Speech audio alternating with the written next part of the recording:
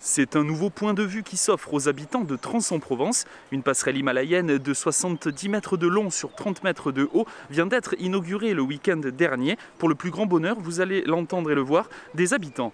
C'est sympa, le problème c'est que quand on a le vertige, c'est un peu impressionnant. Elle bouge un peu, mais sinon c'est très sympa. Ouais, c'est fort euh, agréable. Ben, franchement, j'aime beaucoup le concept, euh, c'est super de faire une passerelle au bord de, au bord de la rivière comme ça, franchement, j'adore. C'est une bonne chose pour le village, c'est un, endroit du village où il y a très peu de monde qui passait. Et du coup en faisant ça, euh, ça permet à plus de monde de venir par-dessus la rivière à un endroit où personne venait. J'aurais quand même bien essayé de sauter, mais bon... Ça tangue un peu, non? Ouais. On trouve que c'est super intéressant parce que ça fait permettre euh, de découvrir un petit peu euh, le parc, un peu dans la forêt.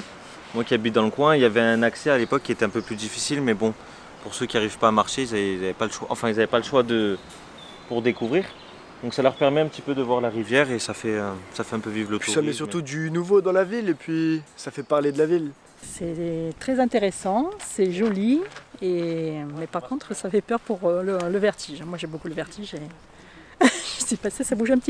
Vous l'avez donc vu et entendu, les habitants sont plutôt enjoués à l'idée d'utiliser cette nouvelle passerelle. Si elle est vouée à attirer plus de touristes, elle est pour l'instant réservée aux seuls habitants de Trans-en-Provence, sous réserve d'être dans le périmètre des 10 km de son domicile et surtout de ne pas avoir le vertige.